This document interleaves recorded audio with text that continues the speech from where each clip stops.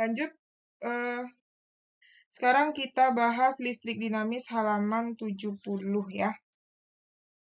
Halaman 70 itu adalah kata soalnya diketahui uh, berdasarkan gambar kuat arus oh ini nomor satu nomor dua ya kayak uh, ada hubungannya gitu ya. Berdasarkan gambar kuat arus listrik yang mengalir pada rangkaian sebesar.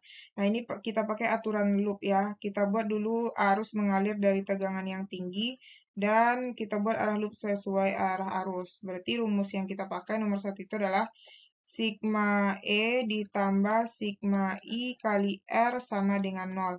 Sigma E-nya itu adalah ini negatif, ini positif. Berarti dia lewat negatif dulu.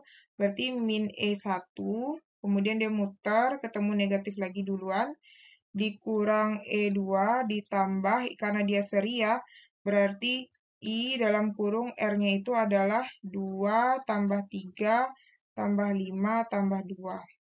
2 tambah 3 tambah 5 tambah 2. Sama dengan 0. Berarti min E18 dikurang 10 ditambah I. Ini jumlahnya adalah 12 sama dengan 0. Berarti ini min 18 ditambah 12i sama dengan 0. Pindah ruas 12i sama dengan 18. Berarti i sama dengan 18 bagi 12. Berarti bagi 2, 9. Eh, bagi 6 aja langsung ya.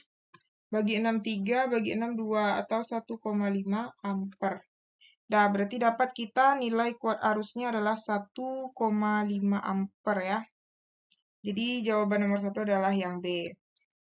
Nomor 2. Berdasarkan gambar, besar beda potensial pada hambatan 3 ohm.